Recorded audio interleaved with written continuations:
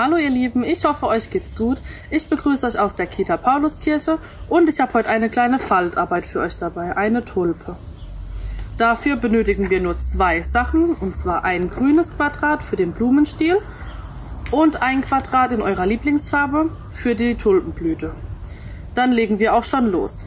Zuerst falten wir das Quadrat einmal in der Mitte, sodass es ein Dreieck gibt.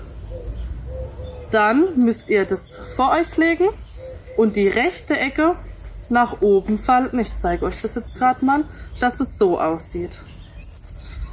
Als nächstes nehmt ihr die linke Ecke und faltet sie über die rechte Ecke drüber und schon ist eure Tulpe fertig.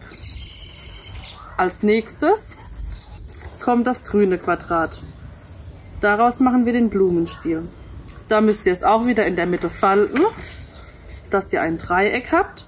Dann klappt ihr das Dreieck aber wieder auf und klappt jeweils die Außenecken nach innen. Ich mache das jetzt gerade mal.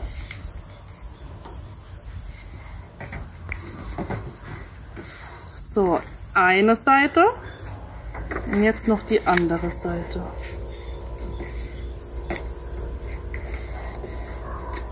Dann sieht es aus wie eine Schultüte oder wie ein Drache. Jetzt liegt ihr es wieder vor euch und jetzt müsst ihr es aufeinander schalten. Dann sieht es so aus.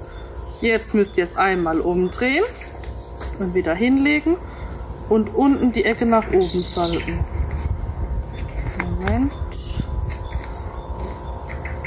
So. Dann habt ihr euren Blumenstiel. Dann nehmt ihr nochmal eure Tulpe und faltet hier unten die Ecke ein bisschen nach oben. Ich zeige es euch.